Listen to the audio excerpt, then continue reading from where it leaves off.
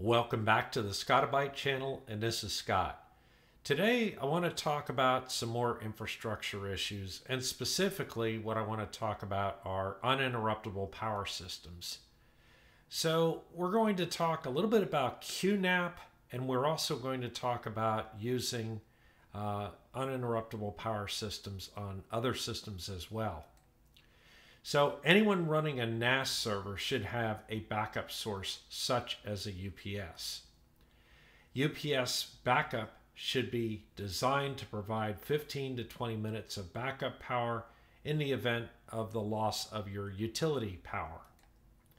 So QNAP NASs support UPS configuration and they can monitor the battery status and initiate orderly shutdown in the event of a power failure. So there's something called Network UPS Tools, or NUT for short, and it's an open source package that provides a set of tools that can control or monitor connected hosts. And QNAP uses the NUT project to manage UPS connectivity on its NAS systems. And if you haven't seen that setting, here it is right here, and that's what we're going to get into today, along with using NUT in general. So here we are logged into one of my QNAP NAS systems. And if we simply go to Control Panel and we go to General Settings and go down to where it says External Device, you can see that there is a UPS tab.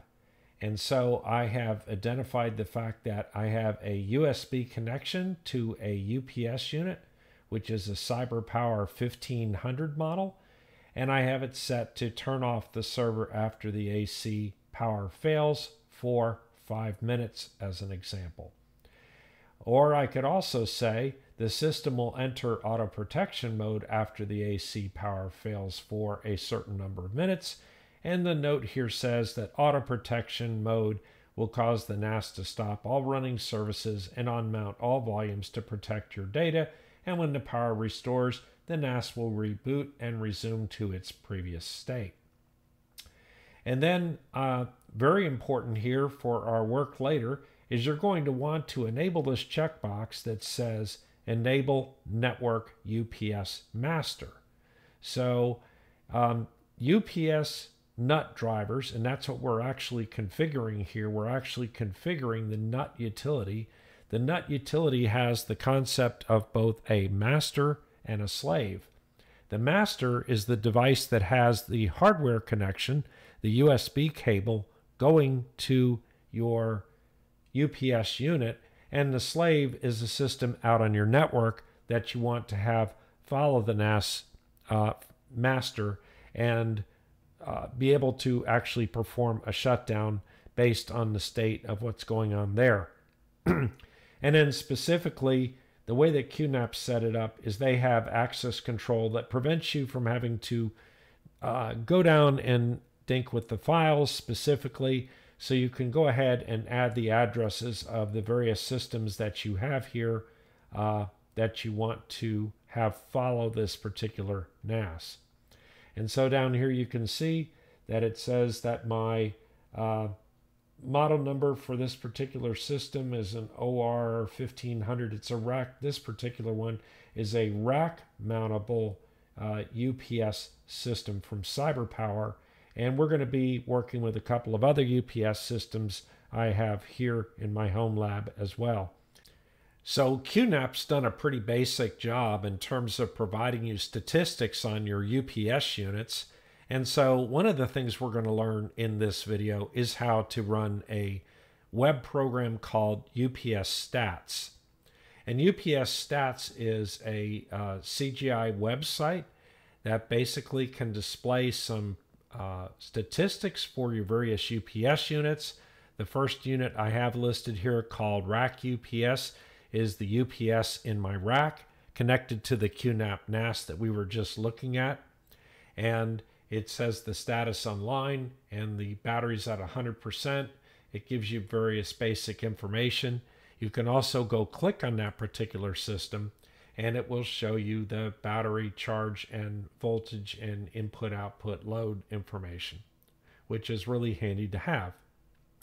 So in addition to that, I have desk side UPS, which is connected to my other QNAP NAS, same types of information, but it is a CyberPower CP50 uh, 500 AVR.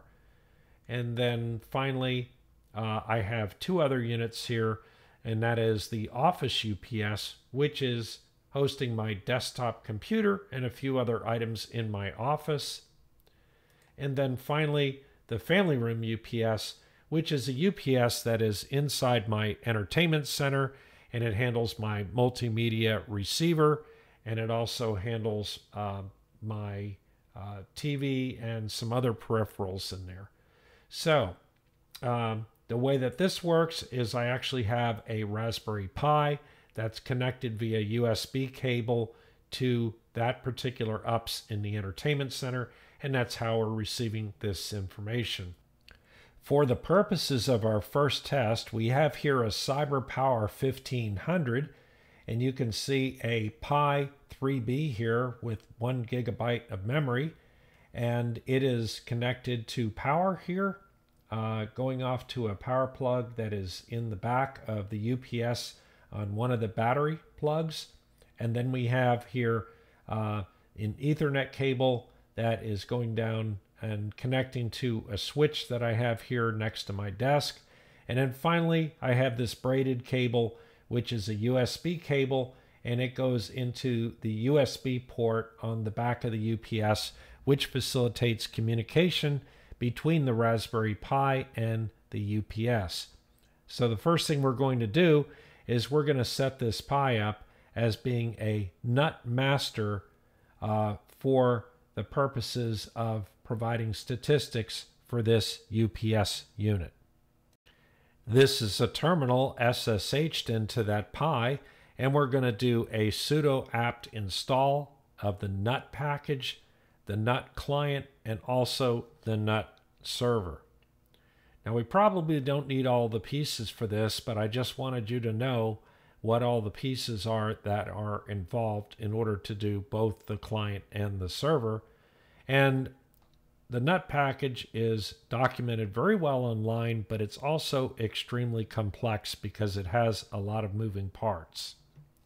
Now that the NUT package is installed, I'm going to do an LSUSB and you can see that the CyberPower 1500 is connected to bus 1 device 4. Now, there is also a command that we can use now that we have the NUT package installed, and it is sudo space nut dash scanner space dash u, and it will go ahead and indicate what is currently installed, and it's saying that you have this NUT device here installed, you can go ahead and copy the information for your particular UPS. And then what we want to do after that is we want to go edit a file. And in that file, we're going to tell it about our UPS. So we're going to go edit with the sudo command forward slash etsy forward slash nut forward slash ups dot conf. And now when we go in here, you can see that there are a whole lot of different things that are currently set up and configured. Um, this is just a template file kind of describing all the types of things that you can do with this file.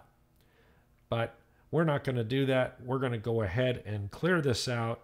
Um, and we're going to go ahead and put what we simply require in that file.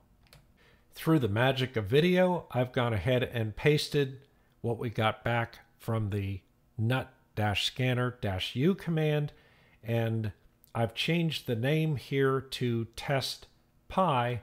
It's just the name of my system. You might want to give it the name of your UPS, but since this is just a test, I went ahead and give it the name test pi. I've also added poll interval equals 1 and max retry equals 3. In all the examples I can see for NUT server, those are the most common parameters that are provided there. So now I'm going to do a control X. Yes, I want to save the modified buffer and I hit enter. The next file I want to go ahead and edit is this file called forward slash etsy forward slash nut forward slash upsd dot users. When I go into this file, they give you lots of examples here on how the user accounts are filled out. And I'm just going to go ahead and delete all this and put in a very simple example. You can look at the template and make your own decision about what you might want to have in terms of user accounts. Uh, right now, since this lab is on my trusted local network, I'm not too concerned about security. So I'm just going to go ahead and make this admin. I'm going to give it a password of 123456. I think that password can be up to about eight characters, but you might want to choose a complex password. And then um, it's going to be an admin, and this is a master server. So we save that out. The next file we want to edit is going to be forward slash etsy forward slash nut forward slash upsmon.conf. And again, this has got a template file that has all kinds of data in here, giving you all the examples. It's pretty wordy. And I'm just going to go ahead and clear this out and put what I think we need in here. So I'm going to do a bunch of control Ks, clear out this gigantic file, and then ultimately I am going to paste in the content that I've found that works for me. So I have a run as user root and then I'm going to say monitor testpi at localhost because this is the host that is uh, connected directly to the CyberPower UPS unit. This one means that there's only one uh, UPS connected. In some complex configurations, you can actually have multiple UPS units connected to the same system. And then I'm using username admin as you noticed in the previous file, and then the password of 123456, and I'm indicating that this is going to be a master server. And then there are two uh, parameters I've noticed I needed to add after running this for about 24 hours. I had a little bit of a problem. I came back and I added um, I added this uh, parameter called dead time. It's supposed to be dead time at 25 and max age at 25. So we're going to go ahead and save that. The next file that we need to edit is forward slash etsy forward slash nut forward slash upsd.conf. And again, we have a lot of template information in here. I'm going to go ahead and clear this out. And then I'm going to paste in what I noticed works at minimum.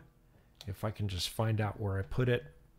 The cut buffer is a marvelous thing if you can remember what you've left in it.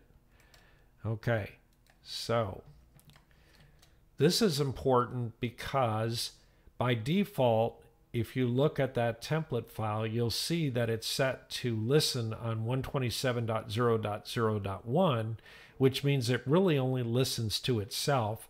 Port 3493 is the reserve port that the NUT server uses. And then I've set it up to where it listens to anybody on your network, uh, both on TCP/IP version 4 and TCP/IP version 6. And that just allows anybody to connect to this server and determine what the status of this connected UPS is. Now the last file we need to edit is forward slash etsy forward slash nut forward slash nut dot conf. And when we bring it up, again, it has a template with a whole bunch of stuff in it, which I'm going to go ahead and delete because there's really only one thing that goes into it, and that is mode equals, and by default in that file, it's mode equals none, which basically means that this thing doesn't do anything. So we have to set up our mode to be what we want.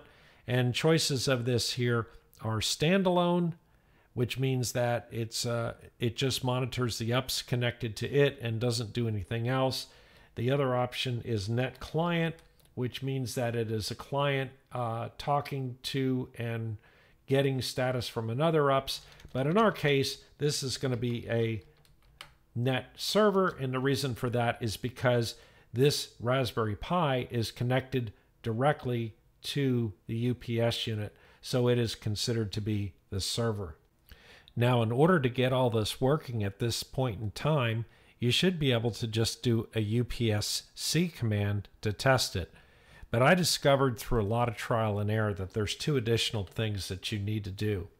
So after editing your files, you may want to go out and do a sudo chown nut uh, forward slash etc forward slash nut of all those files. That basically allows nut to own all the nut project files. So user nut now owns those files. Once you've done that, the next step is to do a restart on the nut server, and that's a forward slash etc forward slash init.d forward slash nut dash server restart. It should prompt you for your password. When you type in your sudo password, it should say authentication complete. At that particular point in time, we should be ready to test this out.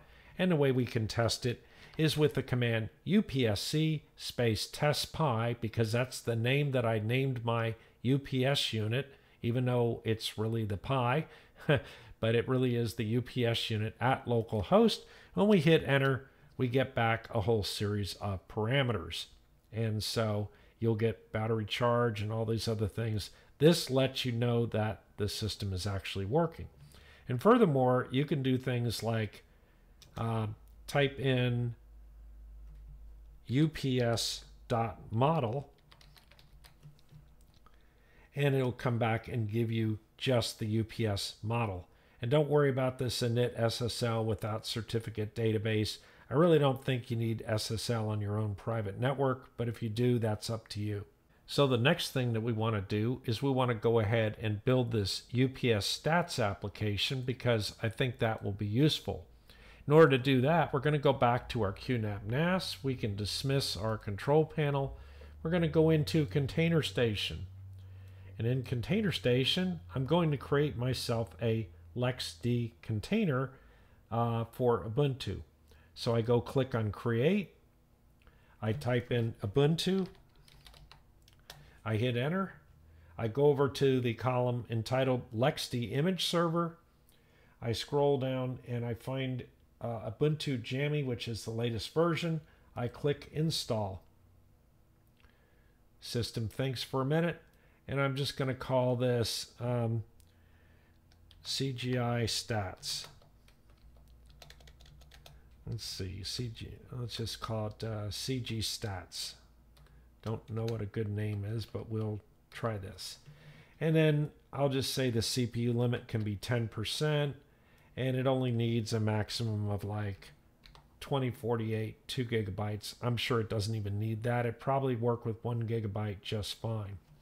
In fact let's go ahead and try that. Let's give it 1024 and then under advanced settings i'm going to refresh my mac address so it's bolded so it gets the same mac address every time.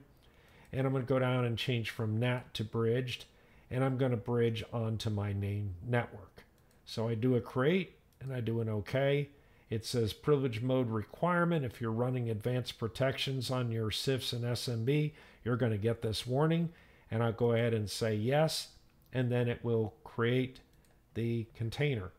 If I go up here and click on the progress, you can see it's creating it, it's downloading, and it should be started shortly. We can now see that CG Stats has been started correctly, so we can go down and click on it. When we get in here, it's prompting us for a login, but we don't have a login yet because LXD containers will not provide us a login. So we click on terminal, we type forward slash bin forward slash sh, and we get a terminal screen here, which we're going to blow up significantly. And maybe not that big. and we're going to go add, well, first we should do an apt update because you should always do that on a brand new created container. And then we're going to do an add user Scott to add a user account, typing in a password. And I didn't do the password right, so try again. And that time it worked. And now I'm going to do a user mod. Dash A, capital G, sudo Scott, giving Scott sudo privilege. Then I'm going to go ahead and exit out of here. Back here on the terminal window screen, I'm going to go ahead and type in my new username and my new password. It will log me in and I'm going to do an I'm going to do a sudo apt remove dash dash purge on open SSH dash server just to remove the currently installed version and it doesn't even have a version installed so we're going to do a sudo apt install. Open ssh-server and now we have a newly refreshed set of keys for our SSH server for this machine. And once this completes, we'll do an IPA to find out our address and then we'll SSH into it. Okay, I can exit out of this. I can create myself a terminal. Whoops, guess I didn't find out the address. Let's go back in here again. And do an IPA. And you can see that it is running on my main network at address 172.16.1.97. So now I'll go ahead and bring the terminal back up. Uh, the big terminal in the background here, we'll go ahead and minimize it. That's our pi. And we'll go SSH 172.16.1.97. And that should be our test machine. And we type in our password. And we're now type we're now logged into CGS stats.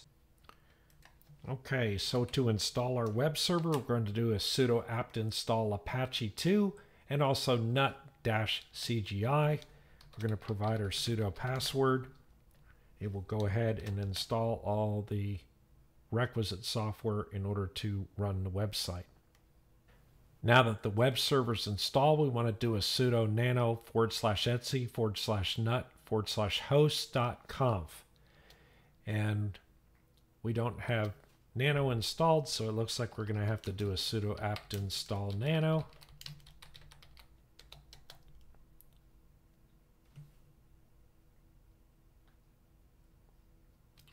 Now we'll back up to that command again, edit the host file. You can erase everything in the host file, get it to the end.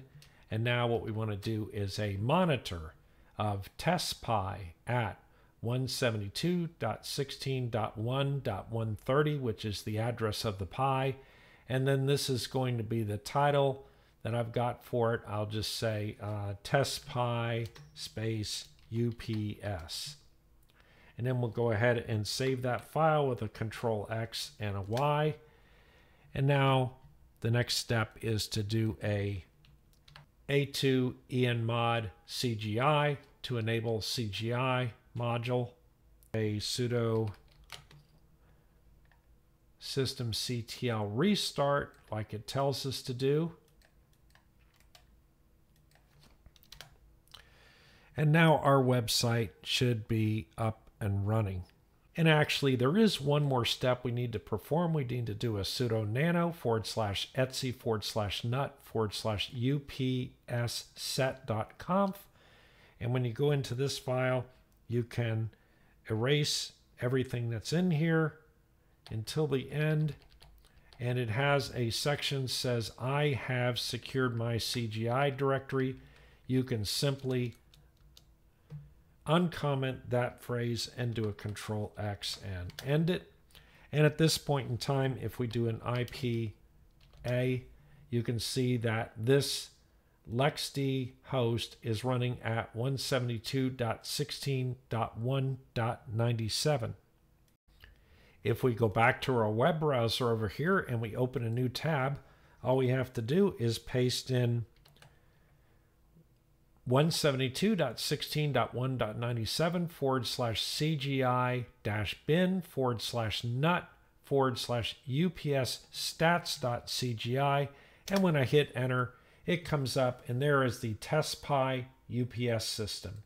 If we click on it, you can now see graphically what that UPS is doing.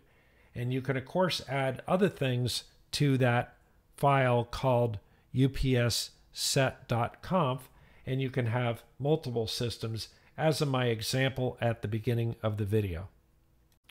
So here I've created a Ubuntu virtual machine, and we're going to use this as our NUT client to talk to our NUT server on the Raspberry Pi. So all I really need to install here is the NUT client with the sudo apt install nut-client. And once that's installed, then we should be able to go ahead and edit the configuration for it. All right, so the first file we want to configure is going to be uh, forward slash etsy forward slash nut forward slash ups mon.conf and we don't have nano installed here that figures. Sudo apt install nano. This is what happens when you do a throwdown vm you don't know what in okay so we'll go edit that file and it does a permission denied of course because I forgot to do a sudo since it's in the nut directory. So we do a sudo in this file. Again we have the template file. I'm going to go ahead and just delete everything out of the template file just by holding down Control K in Nano, which deletes lines. And this is a really big template file. This file is pretty massive and has a lot of detail in it. And I've gone back and forth doing a lot of testing. And I'll try to explain this. So first of all, run as root uh, with the root account, and that's fine. Um, you can set it up to be an individual user account if you want, uh, and that'll work too.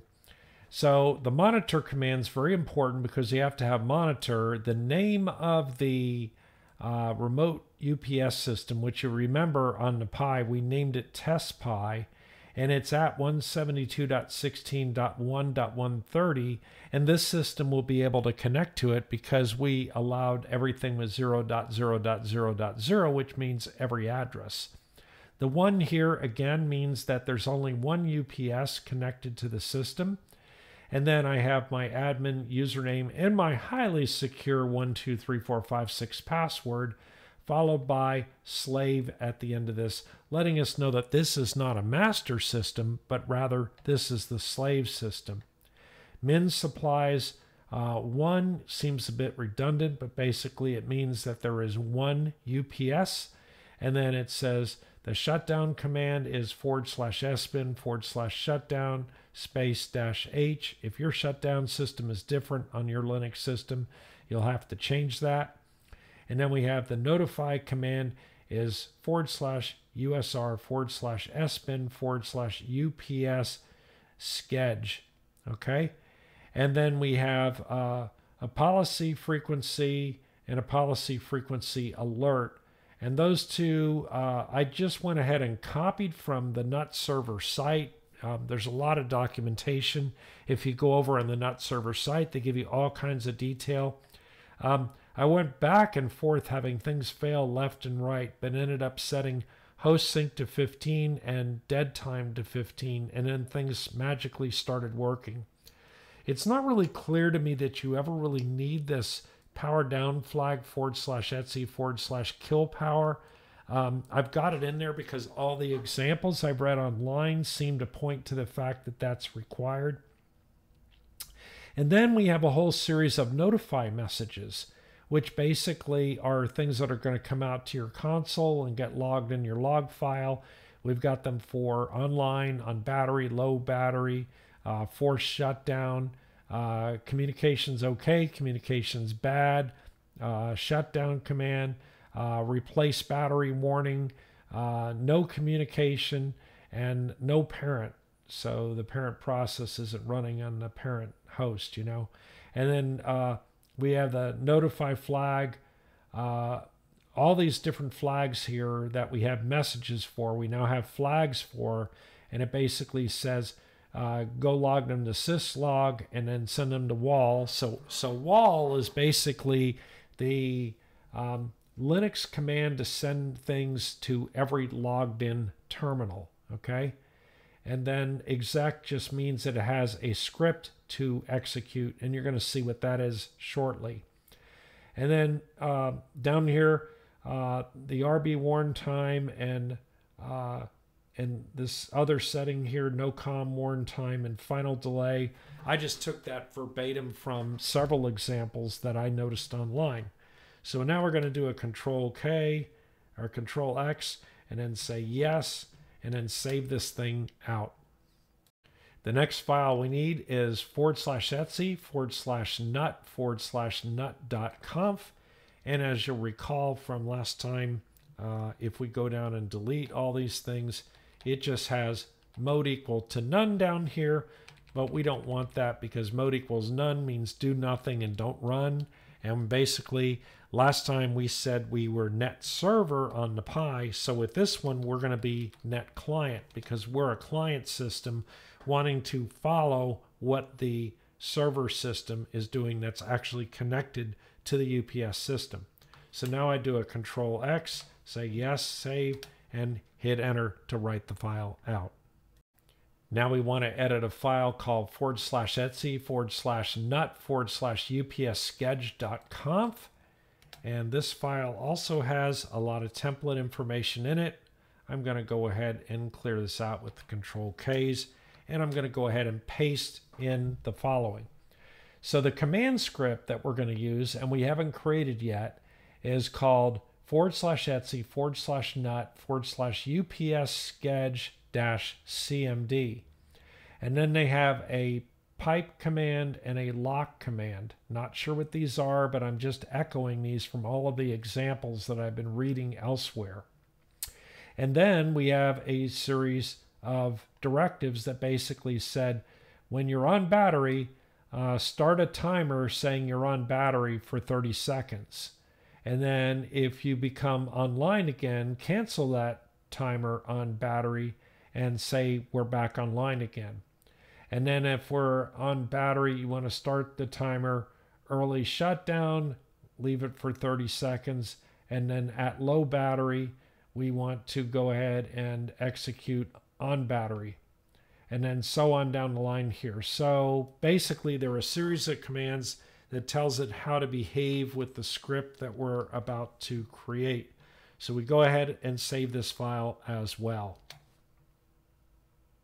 The last file we need to edit is the script file forward slash etsy forward slash nut forward slash ups sched dash cmd and this file doesn't yet exist and we're going to go ahead and put these contents inside of that file. So basically it says what to do if we're on battery and it goes ahead and uh, runs the scheduler command to say UPS is on battery, um, and then uh, what to do with early shutdown, what to do with critical shutdown, and what to do when the UPS goes away, and then what to do if the command comes through here uh, and isn't one of the legal commands. So go ahead and do a Control X, save that, and we're done editing that file. Now that we've completed that editing, one thing we want to do is do a sudo chmod and add executable privilege to the script that we just created. The next step that we want to do is we want to restart the NUT client, and we're going to do that with a sudo systemctl restart nut-client. And then finally, we're going to go ahead and test to see whether or not our client works. And to get to the server, and the way we're going to do that is with a UPSC test pi at 172.16.1.130, which is the address of the pi connected to the UPS. And it does return the information. And so therefore, we know that we have good connectivity and it works. My choice of test environment for this video was pretty arbitrary by plugging in a Raspberry Pi into a spare UPS unit that I had and allowing it to serve as a UPS server and then creating a virtual machine. And the virtual machine actually points back to that UPS server. So the virtual machine is the UPS client. All that's left to test is to unplug that UPS from the wall and force it to go on battery. And once the battery is depleted, this virtual machine will follow the state of that uh, Raspberry Pi and it will perform an orderly shutdown, which is what we want. Unfortunately, all things being equal, when I did this test and unplugged the UPS unit from the wall, spontaneously its inverter failed, and as opposed to the fact that it um, was supposed to go on battery, it actually just failed and lost power completely. So I have a UPS with a 100% charged battery, but unfortunately it doesn't switch over to its inverter. So uh, it is uh, it's an older unit and it's definitely past warranty. So I guess that means buy another unit. In any event, um, hopefully this video has been helpful to you. So in summary, the NUT project provides a set of utilities to monitor and control systems that have connection to a UPS system. A NUT master is a system with a UPS directly connected to a UPS with a USB cable. And a NUT slave is a system on your network that uses the state of the UPS master to decide when to perform a shutdown. And a web server with NUT-CGI provides a web interface into the status of UPS devices on a NUT master server. Anyway, that's it for today. Please subscribe and like to the channel and don't forget to hit that notification bell and we'll see you next time.